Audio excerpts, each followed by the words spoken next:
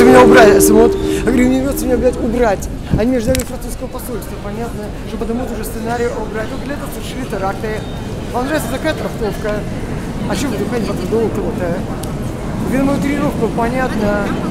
Дернитесь, спать могу.